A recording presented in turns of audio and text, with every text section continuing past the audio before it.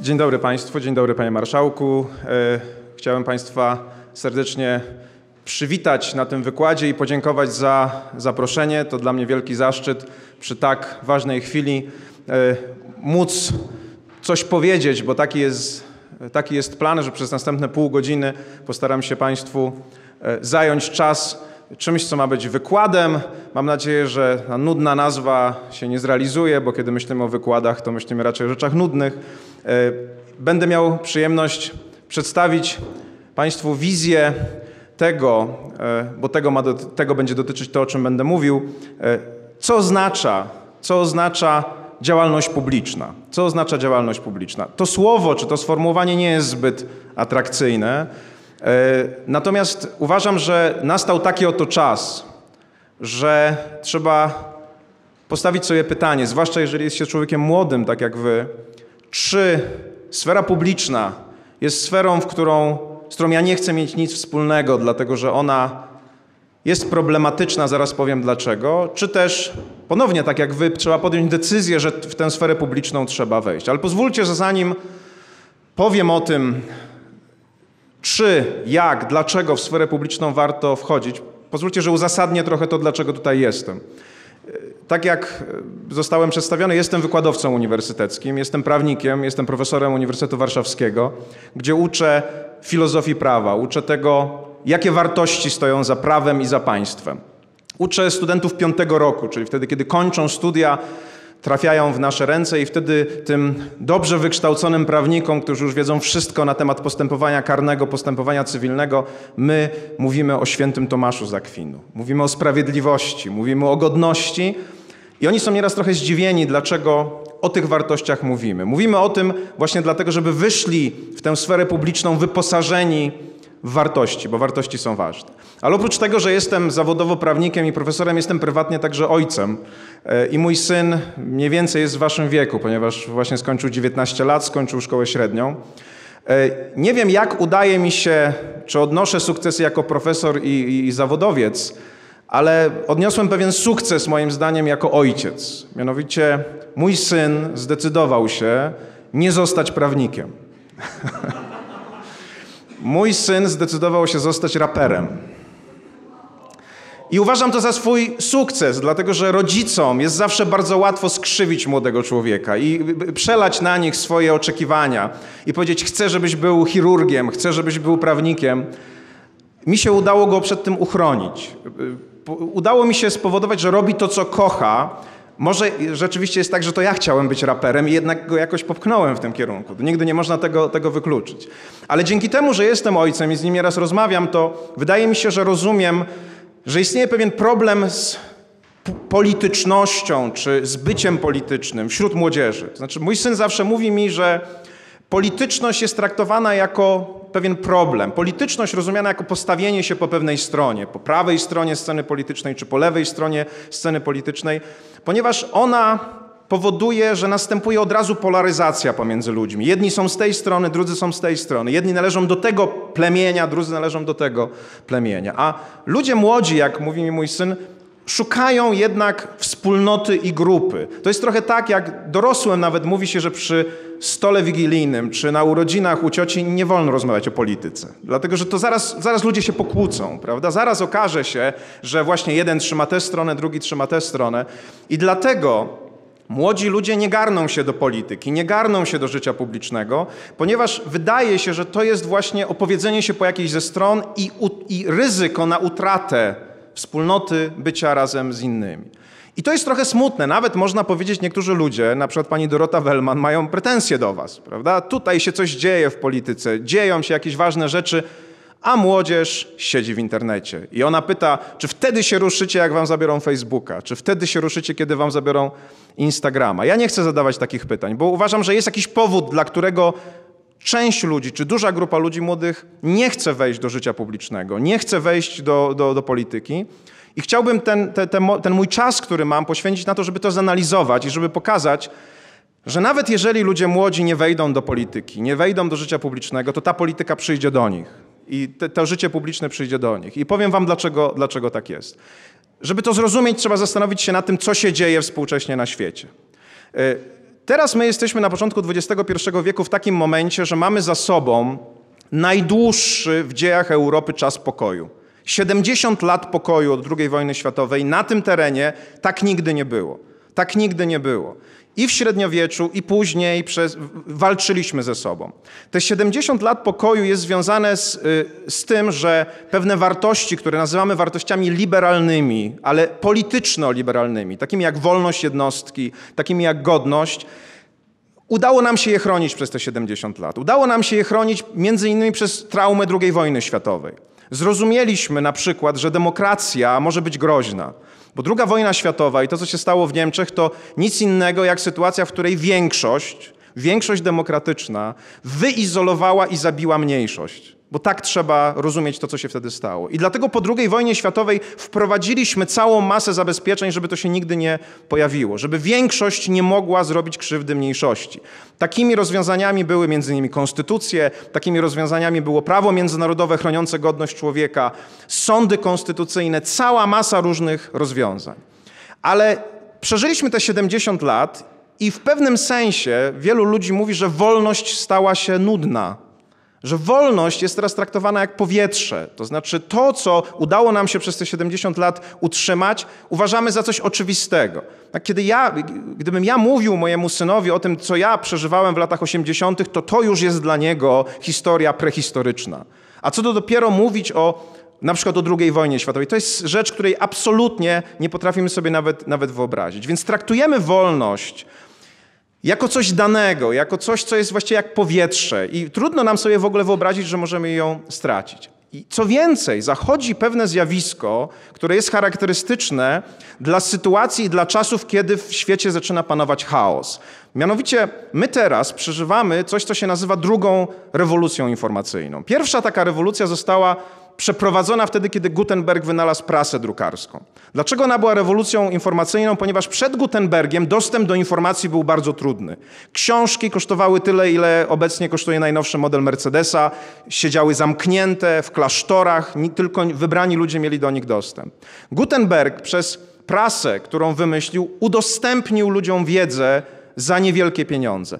Ona się rozpłynęła po społeczeństwie. Ci, którzy potrafili czytać, jeszcze nie wszyscy, ale ci, którzy potrafili czytać, mieli dostęp do wiedzy. I co się stało? Natychmiast zaczęły upadać autorytety. Zaraz po tym, jak się to pojawiło, rozpoczyna się reformacja. Luther przybija swoje tezy i atakuje najważniejszy autorytet, jaki wtedy miał miejsce, jaki istniał, czyli Kościół katolicki. Zaczyna się reformacja i cała Europa pogrąża się w chaosie cały ówczesny świat właściwie pogrąża się w chaosie. Kończy się to wojną trzydziestoletnią, która jest najkrwawszą wojną, jaka prawdopodobnie była kiedykolwiek w dziejach Europy i dopiero później się wszystko uspokaja. I później już jest dobrze. Zaczynało się oświecenie. Newton 30 lat czy 20 lat po wojnie trzydziestoletniej e, w tym zburzonym świecie autorytetów odkrywa to, co odkrywa i mija 300 lat i z ludzi, którzy jeżdżą furmankami, jesteśmy ludźmi, którzy są na Księżycu. Czyli mamy sytuację ogromnego dostępu do informacji, zniszczenia autorytetu, z wielkiej, wielkiego chaosu i później czegoś, co jest, co jest dobre, rozwoju nauki. Obecnie przeżywamy drugą rewolucję informacyjną, która nie jest rewolucją Gutenberga, jest rewolucją Zuckerberga. Tak, internet robi dokładnie to samo, co zrobiła prasa drukarska Gutenberga udostępnia wiedzę ludziom za darmo. Każdy teraz już może, może przeczytać o swojej chorobie, nie idąc do lekarza, bo jest doktor Google. Nie trzeba iść do prawnika, żeby zapoznać się z aktami prawnymi, a nawet przeczytać komentarze do nich, bo one są dostępne. Ludzie uzyskują dużą, duży dostęp do wiedzy, wprawdzie dosyć powierzchowny, ale jednak duży. I zaczyna się kwestionowanie autorytetów. Zaczyna się kwestionowanie autorytetu lekarzy, ruch antyszczepionkowy jest kwestionowaniem autorytetu lekarzy, bo lekarze mówią, macie się szczepić, a ktoś mówi, ale ja przeczytałem, że szczepionki powodują autyzm i ja nie będę szczepił swojego dziecka. Jest kwestionowany autorytet kościoła także oczywiście, ale także prawników. Jest, widzimy to w kwestionowaniu autorytetu sędziów, którzy przez wiele lat byli takimi kapłanami świeckimi, których w ogóle nic nie można było powiedzieć, a teraz na całym świecie, nie tylko w Polsce, na przykład Donald Trump mówi, wy jesteście politykami, nie będę was słuchał. To jest kwestionowanie autorytetu. Jak jest kwestionowanie autorytetu, to świat zaczyna się popadać trochę w chaos, bo autorytet jest po to i normy są po to, żeby było wiadomo, jak żyć. Żeby ktoś nam powiedział, tak jak chłopu średniowiecznemu ksiądz mówił, jak ma żyć, a Luter przyszedł i powiedział, masz sam czytać i sam masz wiedzieć, jak masz żyć. Tak samo teraz jakby uderzenie w autorytety powoduje, że świat zaczyna się stara, stawać coraz bardziej chaotyczny. To zjawisko opisywał Erich Fromm, mówiąc o ucieczce od wolności. Kiedy ja kończyłem szkołę średnią, ja miałem właściwie jeden wybór. Iść na prawo do Wrocławia, bo na przykład nie mówiłem w językach obcych, granice jeszcze nie były otwarte, nie wiedziałem w ogóle, że mogę gdziekolwiek pojechać. Mój syn właściwie mógłby studiować gdzie tylko chce, ale ja miałem w pewnym sensie łatwiej, bo mój wybór był jeden i nie musiałem się z nim męczyć, a on ma taką ilość opcji i wy macie taką ilość opcji, że nie wiadomo, co z nimi zrobić. Jeżeli jest za dużo wyboru, to człowiek zaczyna się zastanawiać, co mam zrobić. Czy jak wybiorę jedno, to nie stracę drugiego. Czy jak pójdę w tę stronę, to, to, to, to, to może bardziej, bardziej warto było pójść w drugą stronę. I to powoduje niepokój, to powoduje chaos. From interpretuje stare mity, historie, interpretuje biblijną y, o, historię o Adamie i Ewie, którzy zjedli owoc z drzewa dobrego i złego i mówi, to nie jest historia literalna, to jest wielki symbol tego, że ludzie, kiedy przestali być zwierzętami, kiedy nimi kierowały instynkty i uzyskali świadomość i nauczyli się odróżniać dobro od zła, musieli zacząć dokonywać wyborów. A wybory nie są komfortem. Wybory powodują cierpienie, bo muszę nerwy, stres, nie wiem co mam zrobić, nie wiem jak mam wybrać. Już nie jest tak, że działam automatycznie. I dlatego wygnanie z raju, mówi From, to jest sytuacja, w której ja już nie mam pewności, jak mam działać, dlatego że jest zbyt dużo opcji i ja sam muszę odpowiadać za nie, ja sam muszę wybierać i ponosić, ponosić konsekwencje. Więc świat, w którym nagle dowiadujemy się, że jest tak dużo wątpliwości, kiedy nas codziennie media straszą, mówiąc o tym, że jest terroryzm, że są uchodźcy, że są choroby, że są wypadki. Świat ten zaczyna się robić coraz mniej zrozumiały coraz mniej zrozumiały. W tym sensie, że coraz trudniej w nim nawigować, poradzić sobie z nim, wiedzieć, kto jest dobry, a kto jest zły. W czasie fake newsów już w ogóle nic nie jest jasne. Już nie wiadomo, czy można wierzyć człowiekowi, z którym się rozmawia, y, czy też nie. Ta sytuacja powoduje, jak, jak mówię, niepokój i mówi o tym From, powoduje ucieczkę od wolności. Ja nie chcę dokonywać wyborów. Nie chcę dokonywać wyborów, dlatego że się ich obawiam. Być może chcę, żeby ktoś wykonał, dokonał tego wyboru za mnie. Fromm analizował Republikę Weimarską, czyli czas przed y, nazistowskimi Niemcami, pokazując, że ludzie, którzy popadli w ten syndrom ucieczki od wolności, którzy byli wystraszeni światem, bo ten świat był przerażający, y, był trudny, był kryzys ekonomiczny, zapragnęli jakiegoś silnego lidera. Dlaczego zapragnęli lidera? Dlatego, że lider przedstawia prosty świat. Przychodzi i mówi: Tych macie kochać, tych macie nienawidzić. To są dobrzy ludzie, to są źli ludzie. Świat jest czarno-biały, nie ma w ogóle odcieni. Takim liderem byli liderzy nazistowskich Niemiec, ale teraz mamy podo z podobną e, sytuacją do czynienia. Świat się staje, staje coraz bardziej skomplikowany i liderzy liberalnego świata, którzy przychodzą i mówią, dokonujcie samodzielnie wyborów, tutaj jest wolność, proszę, wywalczyliśmy ją dla was, proszę, róbcie co chcecie w ramach tej wolności, przestają być atrakcyjni. Dlatego, że oni wprawdzie wywalczyli wolność, zostawili przestrzeń i mówią, róbcie co chcecie, tylko że wielu ludzi nie wie, co robić, dlatego że wyborów jest zbyt dużo. I dlatego liderzy liberalni, ci, którzy walczą o wolność, przestają być atrakcyjni. Atrakcyjni stają się ci, którzy mówią: Ja wam powiem, co robić. Ja wam powiem, co robić. Ja jestem autorytetem, posłuchajcie mnie, będzie wam lepiej. Zrezygnujcie ze swojej wolności, ja wam dam bezpieczeństwo. To jest stara narracja wszystkich liderów, którzy przychodzą w momencie, kiedy jest chaos i mówią: Ja będę waszym rycerzem na białym koniu i spowoduję, że wam będzie lepiej. I teraz my rozumiemy to, natomiast zwróćcie uwagę, że ten świat wolności zaczyna tej wolności nie lubić, zaczynają odrzucać i powoli na całym świecie zaczyna być coraz więcej akceptacji silnych liderów. Właśnie takich, takich ludzi, którzy przychodzą i mówią: Ja wiem, co mam zrobić. Y, taki wybitny lingwista, neurolingwista amerykański, e, Lejkow, y, kiedy Trump został, dostał nominację republikanów, żeby startować w wyborach prezydenckich, napisał taki artykuł Zrozumieć Trumpa. I w tym artykule powiedział, że w przestrzeni publicznej polityki istnieją takie wzorce polityków i że prawica, silne, silni liderzy wykorzystują pewną taką metaforę kognitywną, którą my wszyscy znamy, mianowicie prezentują się, politycy prezentują się jako, tak jak, jak surowy ojciec. A i społeczeństwo prezentują jak rodzinę surowego ojca. To jest taka sytuacja, w której ojciec wie, co jest liderem, jest silnym liderem, ma jasną hierarchię wartości, narzuca tę hierarchię wartości innym, karze za przekroczenie, nagradza za to, że człowiek y, postępuje zgodnie z jego wskazówkami i, mówi Lejkow, duża część społeczeństwa zagubiona w nowym świecie możliwości wolności chce słuchać surowego ojca. Chce słuchać kogoś, kto przychodzi i mówi, ja wiem, co zrobić, zrobimy tak. Ktoś, kogoś, kto proponuje proste rozwiązania. Jest skomplikowany problem migracji w Stanach Zjednoczonych. Przychodzi Trump i mówi: Zbudujemy mur. Tak? Postawimy mur i problem migracji zniknie. Nie zniknie, bo nie jest taki prosty.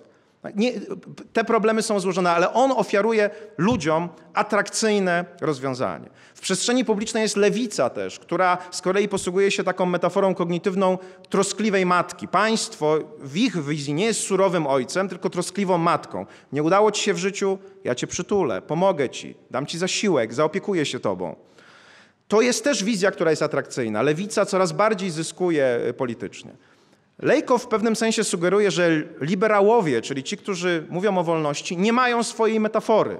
Nie, nie, potrafią się przedstawić jako ojciec, jako rodzina, jako wspólnota, bo liberalizm z natury rzeczy jest indywidualistyczny. Właśnie mówi, ty jesteś jednostką, ty wybieraj, ja ci tylko przedstawiam, prezentuję przestrzeń. Tak samo liberalizm polityczny, ten od wolności politycznej, jak i ekonomiczny. Rynek jest przestrzenią, a ty wejdź i sprzedawaj i kupuj. Ja ci nie powiem co albo za ile, ty musisz sam zdecydować.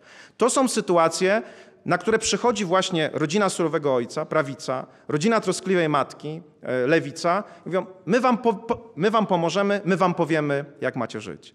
Zjawiska, które w Polsce obserwujemy ostatnio, są w tym sensie niepokojące, że pokazują, że ogromna większość młodzieży, ludzi w waszym wieku, chce głosować na partie prawicowe, na partie, które prezentują model, model rodziny surowego ojca. W sensie psychologiczno-społecznym prawdopodobnie jest tak, ponieważ młodzież czuje się zagubiona w świecie. Nasze pokolenia wcześniejsze zawsze mogły liczyć na to, że kolejne pokolenie będzie miało lepiej niż poprzednie. Tak? Bo były nowe leki, bogaciliśmy się. Wy prawdopodobnie jesteście pierwszym pokoleniem, przepraszam, że to mówię, które będzie miało gorzej niż rodzice. Dlatego, że na przykład kiedy ja zaczynałem pracę w latach 90., wystarczyło trochę mówić po angielsku i się dostawało pracę. Teraz nieraz się mówi w trzech językach i trudno jest pracę dostać. Jest, jest trudniej. W związku z tym musicie widzieć, że społeczeństwo nasze coraz częściej odchodzi od wolności i idzie w kierunku zapewnienia bezpieczeństwa albo takiego aksjologicznego przez rodzinę surowego ojca, czyli przez prawicę, albo bezpieczeństwa społecznego zaproponowanego przez rodzinę opiekuńczej matki, czyli przez, przez państwo, które pomaga, takie welfare state, takie państwo, państwo opiekuńcze. Są partie, które w ogóle łączą to w jedno. Są, są, można powiedzieć, konserwatywne w sensie światopoglądowym, dają jasną hierarchię wartości, która porządkuje świat i dają opiekuńczość, dają zasiłki. I wydaje się, że młodzi ludzie tego potrzebują. Mój syn kiedyś przyszedł do, z odwiedzin u swojego kolegi, który pochodzi z jakiejś rodziny takiej arystokratycznej, wielopokoleniowej. Mówi, jaki oni mają piękny dom, są obrazy przodków, są jakieś zbroje rycerskie. Oni wiedzą, skąd oni pochodzą, są jakieś hierarchie. Tato, skąd my jesteśmy w ogóle? Skąd myśmy się wzięli w ogóle? Tak? Gdzie jest nasza historia? Gdzie jest, gdzie jest nasza... Ja mówię, ja jestem liberałem, synu. Tak? Ona nie była dla mnie nigdy taka ważna, bo dla mnie ważna była przyszłość, rozwój, wolność, to, co zrobię kiedyś w przyszłości, a nie to, co zrobię w przeszłości. A on mówi, szkoda. Bo ja, mi się to podoba, prawda? Mi ta wspólnotowość, to bezpieczeństwo, że ja wiem skąd po, tradycja, stąd polityka historyczna, która jest prowadzona w Polsce, dotycząca na przykład tradycji żołnierzy wyklętych. Dlatego tak rezonuje z młodymi ludźmi, chyba tak mi się wydaje, dlatego że ona daje pewne poczucie zakorzenienia, a zakorzenienie to bezpieczeństwo. Hierarchia to bezpieczeństwo. Ale dlaczego ja o tym wszystkim mówię? Mówię o tym dlatego, że jeżeli zmienia nam się świat tak, że ludzie coraz bardziej obawiają się rzeczywistości, ona jest przerażająca, bo właśnie dostajemy ciągle informacje, że świat się wali, że za chwilę się skończy. E, te, te globalne media żywią się tak naprawdę negatywnymi informacjami. Jest coraz więcej wyborów i coraz więcej rady dotyczącej tego, jak wybrać. To znaczy, że nasze społeczeństwa będą zmierzały od liberalizmu, który dawał dużo wolności, w obszar, gdzie wolność sprzedaje się za bezpieczeństwo.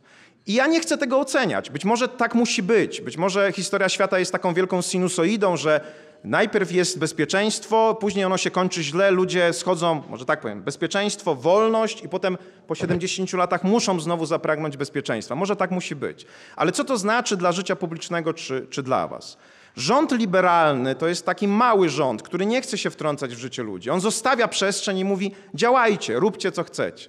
Ale rząd prawicowy albo rząd lewicowy nie jest taki. Jeżeli chce zapewnić bezpieczeństwo, musi wejść w życie ludzi. Musi im powiedzieć, surowy ojciec musi im powiedzieć, co mają robić. Musi o nich zadbać. Ten, który chce im zapewnić bezpieczeństwo socjalne, musi także w pewnym sensie wejść w ich życie. Mój syn często nie przejmuje się tym, co się dzieje w polityce, ale ponieważ jest artystą, to jak się dowiedział, że y, obecna nasza władza planuje jakąś reglamentację działalności artystycznej, że ma być jakaś karta artysty, to przyszedł i mówi, ale o co chodzi? Czy to w ogóle jest zgodne z konstytucją? Ja mówię, o teraz cię konstytucja zainteresowała. Nie? Wcześniej jakoś cię nie interesowała. Dopiero jak zobaczyłeś, że państwo przyszło do tego kawałka życia, który dla ciebie jest ważny, i chce wejść w nie właśnie reglamentując to, czy ty możesz być artystą, czy nie. Tak nie było, ale, ale pokazuję to jako, jako przykład. Był inny troszeczkę pomysł, mój syn się po prostu jego wystraszył. Ale to było dla mnie znaczące, że dopiero jak to państwo przyszło do jego kawałka życia, no to wtedy on zrozumiał, że coś trzeba z tym zrobić. To, co chcę wam powiedzieć, to to, że procesy na świecie się toczące, ta rewolucja informacyjna, postępujący upadek autorytetów, chaos, właśnie ta mechanizm ucieczki od wolności powoduje, że coraz częściej będziemy mieli na świecie, w Polsce i gdzie indziej, do czynienia z rządami surowego ojca albo opiekuńczej matki, a nie liberalnego przywódcy, który mówi: Ja wam zostawiam sferę wolności, w której macie działać. Trzeba sobie odpowiedzieć na to, po pierwsze, czy takiego świata chcecie, a jeżeli tak, to którego z nich? Czy tego, w którym jest surowy ojciec, czy tego, w którym jest opiekuńcza matka. A może jest tak, że istnieje jednak trzeci model dla liberałów politycznych. Może jest tak, że istnieje wzór rodziny demokratycznej, liberalnej. On nie jest zbyt popularny. Ja zawsze, kiedy często wykładam na temat podziału władz, właśnie demokracji, dopuszczania ludzi do głosu, i zawsze na końcu takiego wykładu, kiedy wszyscy mówią, tak, trójpodział władzy, równowaga, demokracja, ja mówię, czy u was w domu panuje trójpodział władzy przy stole w kuchni? Czy u was w domu panuje demokracja? Czy też zasada dzieci i ryby głosu nie mają? E? Jak dyskutujecie o tym, gdzie chcecie pojechać na wakacje, to tak samo szanujecie głos dzieci jak dorosłych, czy po prostu przychodzi surowy ojciec i mówi, jedziemy w góry, mimo że dzieci może chcą nad morze. Jeżeli nie mamy modelu rodziny demokratycznej, która mówi, twój głos jest ważny, chcę ciebie wysłuchać, bo ja nie jestem najmądrzejszy jako ojciec i chcę wiedzieć, co ty masz do powiedzenia, to potem dlaczego się dziwimy, kiedy nasi, nasze dzieci wychodzą w świat polityki i widzą surowego ojca, który wychodzi i mówi: Zbudujemy mur, to rozwiążemy, taka będzie hierarchia, i są zachwyceni, no bo znają to z domu, po prostu znają to z domu. Jeżeli nie zbudujemy rodziny demokratycznej, wizji, w której my także siebie będziemy traktować wzajemnie tak, jak się ludzie powinni traktować w kraju demokratycznym, tam gdzie jest równowaga władz, jako partnerów do dyskusji, no to w pewnym sensie te dwie wizje państwa jako rodziny surowego ojca i opiekuńczej matki będą jedynymi alternatywami. Być może tak musi być, jak powiedziałem, być może to musi tak pozostać, ale chciałbym, żebyście to widzieli, że takie procesy zachodzą. I każdy z Was w pewnym sensie musi sobie odpowiedzieć na pytanie, czy chce takiej wizji państwa, wizji surowego ojca, który musi wejść w moje życie i nieraz nie będzie mnie pytał o to, czego ja chcę, tylko powie mi, co mam robić, bo paternalizm narzucanie zdania jest charakterystyczne dla tej wizji. Ta wizja surowego ojca zakłada co do istoty ludzkiej, że człowiek z natury jest zły i skłonny do zła, do zła, więc trzeba o niego zadbać. Wizja liberalna zakłada, że człowiek z natury jest dobry, jak się go pozostawi samemu sobie, to zrobi dobre rzeczy. To są dwie zupełnie różne wizje świata. Więc musicie sobie odpowiedzieć, czy ta wizja jest ok, czy może ta wizja opiekuńczej matki, a może jednak ta rodzina demokratyczna, która, jak mówię, jest w powijakach, bo myśmy jej nigdy, nigdy nie wytworzyli. W każdym razie zjawiska społeczne, które się dzieją, spowodują, że państwo po was przyjdzie. I być może lepiej proaktywnie wyjść do tego państwa i powiedzieć, a może jednak zabierzemy głos, może jednak powiemy, co dla nas jest ważne, może nie koniecznie indywidualnie, może grupą, tak jak jesteście tutaj. Wydaje się, że to jest to jakieś, jakieś rozwiązanie. Natomiast polityczność, publiczność nie pozostanie nigdy gdzieś daleko. Ona coraz bardziej się zbliża, bo świat tego wymaga. Więc podsumowanie moje jest następujące. Chciałbym Was zachęcić do tego, żeby ten świat obserwować, żeby ten świat starać się zrozumieć. Nie tylko w kategoriach prawnych i politycznych, ale właśnie też w kategoriach psychologicznych, socjologicznych, żeby zrozumieć, że świat się zmienia i że czeka ten świat na jakieś odpowiedzi. Na odpowiedzi na pytania, które może jeszcze nie są postawione, których my nie jesteśmy w stanie postawić, ale Wy jesteście w stanie postawić. Jeżeli potrzebujecie sprawczości, to jest podobno też potrzeba młodzieży, chcecie mieć wpływ, to miejcie ten wpływ. Zrozumcie świat, zobaczcie w jakim kierunku on zmierza, dokonajcie wyboru i spróbujcie sprawić, żeby za 10, 20 lat, 30 lat nie spełniła się ta przepowiednia, że wy będziecie pierwszym pokoleniem, które będzie miało gorzej niż my. Pokażcie, że świat może się rozwinąć we właściwym kierunku. Dziękuję.